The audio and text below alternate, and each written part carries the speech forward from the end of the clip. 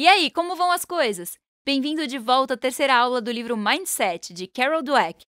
Na aula passada, falamos sobre o processo de aprendizagem, o poder dos rótulos e como o mindset pode ser visto no mundo dos esportes. Na aula de hoje, vamos falar como as diferenças entre os mindsets impactam nos negócios, suas lideranças e nos relacionamentos pessoais.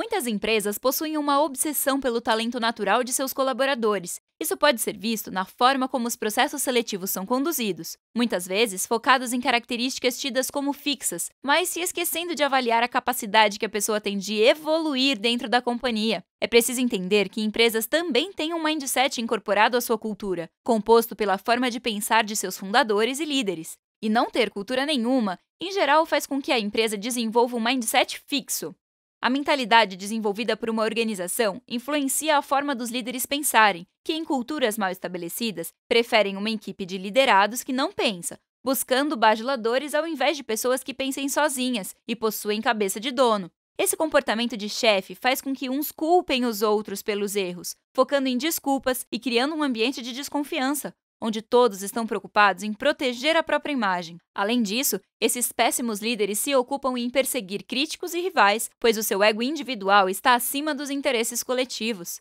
Depois de contaminar a liderança, esse comportamento tóxico chega aos liderados, que, ao observarem o perfil egoísta dos líderes, começam a adotar uma postura sem transparência, onde todos preferem mentir do que aprender coisas novas. Influenciados pelos maus exemplos, reproduzem o comportamento egoísta, guardando suas opiniões para si, pois o medo de ser perseguido por discordar é maior que a vontade de ver a empresa crescer.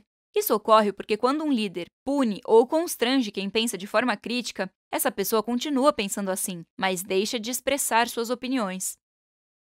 Os grandes e verdadeiros líderes empresariais geralmente não queriam ser líderes, mas sim resolver problemas e contribuir de alguma forma com o mundo. No entanto, a sociedade possui uma visão distorcida dessas pessoas, criando estereótipos que não refletem a realidade. Vamos analisar as seis características dos verdadeiros líderes com base no que aprendemos até aqui sobre a mentalidade do crescimento. Primeira, não tentam provar que são melhores do que os demais. Por não estarem focados no próprio umbigo, não ficam tentando competir com seus liderados. Pelo contrário, buscam sempre pessoas melhores que elas, para que os resultados globais apareçam. Pessoas inseguras nunca conseguem montar times de alta performance pois se sentem extremamente mal ao lado de gente competente. Segunda, não pegam o crédito pelas suas realizações. Líderes de mindset de crescimento geralmente são discretos e não gostam de holofotes. Quando as coisas vão mal, eles assumem a responsabilidade pelo resultado, e quando vão bem, dão todo o crédito à equipe. Essa atitude aumenta mais ainda a confiança e a admiração que o time tem por eles. Terceira, não prejudicam os outros. A insegurança do mindset fixo faz com que muitos líderes queiram prejudicar seus liderados, pois é uma forma de afirmar a sua superioridade. Já que não evoluem por não acreditarem nessa possibilidade, acabam rebaixando quem está ao seu lado, pois é a única forma de estarem por cima. Quarta, sempre tentam melhorar. O fato de terem grandes responsabilidades na carreira não os impede de sempre aprenderem coisas novas, pois quem não se atualiza fica para trás, independente de sua posição na sociedade. Empresas com cultura de crescimento não protegem líderes com mindset fixo, por mais que tenham contribuído no passado. Quinta, focam no mindset de seus liderados, não no currículo. Eles sabem o que importa. Muitos não estudaram em faculdades de prestígio, nem possuem um histórico escolar invejável, mas melhoram a cada dia e sabem o valor do esforço. Sexta, possuem mindset de crescimento. Percebeu o padrão?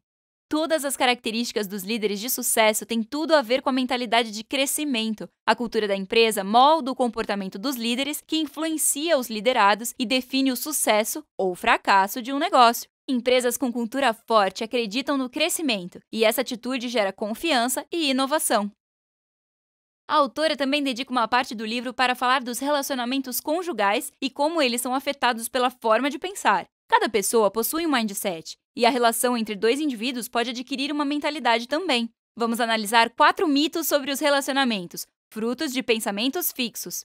Primeiro, se preciso me esforçar, então tem algo errado. Muitos acreditam que tudo precisa ser mágico numa relação. Palavras como química, amor à primeira vista ou alma gêmea demonstram um mindset fixo. Mas a realidade é que todo relacionamento, independente da afinidade inicial, precisa ser construído, a duras penas, todos os dias. Casais com mindset de crescimento continuam se esforçando para fazer a relação dar certo. Segundo, meu cônjuge deveria ler a minha mente. Por acreditar que foram feitos um para o outro, cônjuges com esse pensamento esperam que o outro leia seus pensamentos. Na verdade, essa é uma desculpa de quem não quer se esforçar e se comunicar de forma madura. Terceiro, um casal nunca deveria discordar. Esses pensamentos só eliminam a comunicação e afundam mais ainda o relacionamento.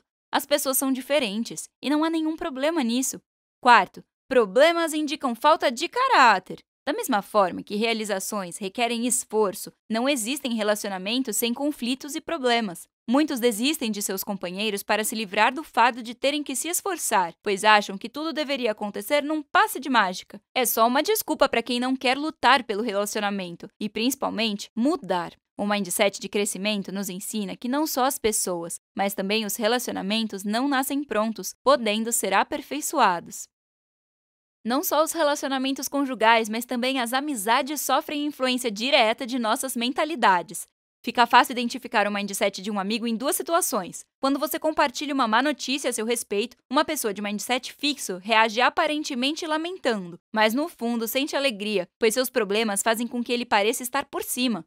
Um amigo de mindset de crescimento não só lamenta de verdade, como faz de tudo para te ajudar a enfrentar o problema. O segundo caso é quando algo muito bom acontece com você. Nessas horas, os amigos de mindset fixo fingem ficar felizes, mas no fim das contas se sentem extremamente frustrados, pois o sucesso dos outros aumenta mais ainda a sua insegurança. Se as coisas continuarem indo bem para você, eles acabam se afastando, pois não conseguem suportar coisas boas acontecendo com os outros, enquanto suas vidas permanecem na mesma. Nas dificuldades, vemos quem é amigo de verdade, mas o verdadeiro teste vem quando acontecem coisas boas na nossa vida. É nessas horas que sabemos quem nos deseja realmente o melhor e se alegra com nossas realizações.